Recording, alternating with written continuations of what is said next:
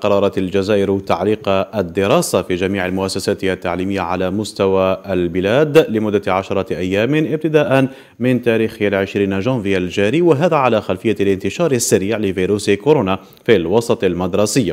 جاء هذا في الاجتماع الاستثنائي للتقييم الوضعية الوبائية الذي ترأسه رئيس الجمهورية الجزائري عبد المجيد تبون بحضور أعضاء اللجنة العلمية لرصد ومتابعة تفشي فيروس كورونا.